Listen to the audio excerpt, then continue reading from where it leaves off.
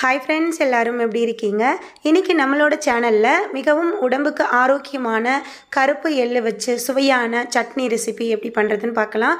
கொஞ்சம் கூட time waste பண்ணாமல் வீடியோக்குள்ளே போயிடலாம் ஃப்ரெண்ட்ஸ் இப்போ இந்த சட்னி பண்ணுறதுக்கு ஃபஸ்ட்டு நம்ம ஒரு அடுப்பில் ஒரு கடை ஒரு பாத்திரம் வச்சுட்டு ஒரு கப் அளவுக்கு கருப்பு எள்ளு சேர்த்துக்கிறேன். நல்லா வந்து இந்த மாதிரி வெடிச்சு வரும். அதாவது பொரியிறது வந்து இந்த மாதிரி படபடன்னு கேட்கும்.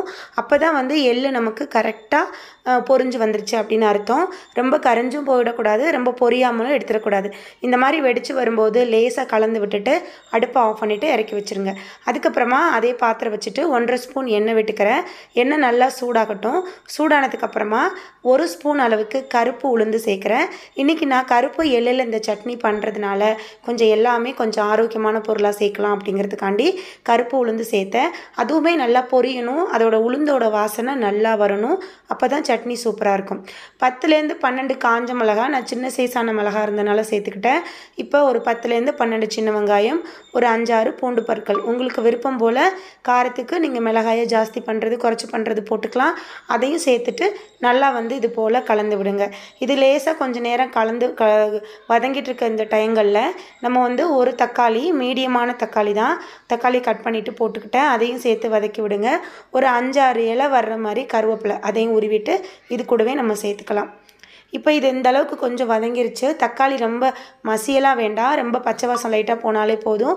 இந்த அளவுக்கு வதங்கினதுக்கப்புறமா நான் கருவேப்பிலை இதில் ஆட் பண்ணிக்கிட்டு அதுக்கப்புறமா நம்ம இது கூட என்ன பண்ண போகிறோன்னா தேங்காய் சில்லு. ஒரு பாதி மூடி தேங்காய் எடுத்துகிட்டு அந்த சில்லு வந்து கட் பண்ணி சேர்த்துக்கிட்டாலும் சரி இல்லை நீங்கள் தேங்காய் பூ துருவி சேர்த்துட்டாலும் சரி நான் இந்த மாதிரி நம்ம அரைக்கத்தான் போகிறோம் அதனால் இந்த மாதிரி சேர்த்துக்கிட்டு லேசாக கலந்து விட்டதுக்கப்புறமா அடுப்பை ஆஃப் பண்ணிவிடுங்க தேங்காய் போட்டதுக்கப்புறமா ரொம்ப நேரம் அடுப்பு எரிய வேண்டாம். இப்போ நல்லா ஆற வச்சதுக்கப்புறமா மிக்ஸி ஜாரில் சேர்த்துக்க சேர்த்துக்கிறேன்.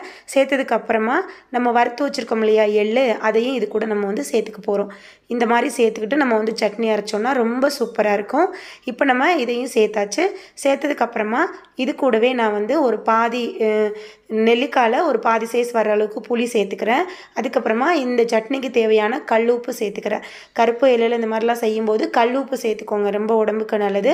இதை வந்து நல்லா வந்து அரைச்சி எடுத்து வச்சுக்கலாம். கொஞ்சம் தண்ணி சேர்த்து அரைச்சிக்கலாம். இப்போ தாளிப்புக்கு அடுப்பில் கடாய் வச்சுட்டு ஒரு அரை ஸ்பூன் அளவுக்கு எண்ணெய் விட்டுட்டு சூடானதுக்கப்புறமா கடுகு கருவேப்பிலை போட்டு பொரிஞ்சதுக்கப்புறமா நம்ம அரைச்சி வச்சதை அதில் சேர்த்து கலந்து கொடுக்க வேண்டியதுதான்.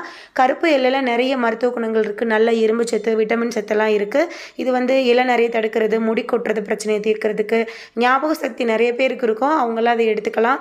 குழந்தைங்களுக்குலாம் வந்து உடம்பு நல்லா வலுவாகிறதுக்கு இந்த கருப்பு எள்ளு கொடுக்கலாம். வெள்ளை எள்ளு அந்த கருப்பு எள்ளில் நிறைய நல்ல சத்து இருக்குது மறக்காமல் நீங்களும் செஞ்சு சாப்பிடுங்க. குழந்தைங்களுக்கும் பண்ணி கொடுங்க. இது இட்லி தோசை மட்டும் இல்லைங்க. சூடான சாதத்து கூட பிசைஞ்சு சாப்பிட்டா அவ்வளோ டேஸ்ட்டாக இருக்கும். குழந்தைங்க வந்து இதெல்லாம் வந்து கொஞ்சம் விரும்ப மாட்டாங்க. ஆனால் இது போல் செஞ்சு செஞ்சு நம்ம கொடுத்துட்டே இருந்தோம்னா அவங்களுக்கே தெரியாமல் டேஸ்ட்டு பிடிச்சிரும். உடம்புக்கு ரொம்ப ஆரோக்கியமாக இருக்கும். இந்த ரெசிபி உங்களுக்கு பிடிச்சிருக்கும் நான் நம்புகிறேன் பிடிச்சிருந்தா நம்ம சேனலை சப்ஸ்கிரைப் பண்ணிக்கோங்க ஷேர் பண்ணிக்கோங்க. நெக்ஸ்ட் ரெசிபியில் மீட் பண்ணுறேன் ஓகே ஃப்ரெண்ட்ஸ் பாய்